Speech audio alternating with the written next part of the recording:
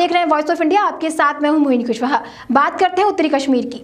उत्तरी कश्मीर के बारामूला में गणतंत्र दिवस के मौके पर बारामूला में सेना पुलिस की तरफ़ से रंगारंग कार्यक्रम पेश किया गया, जो कि एक रिहर्सल के तौर पर था, जिसमें स्कूली बच्चों ने हिस्सा लिया और घाटी में अमन शांति के गीत गए। आइए सुनाते हैं इस कार्यक्रम के कुछ अंश।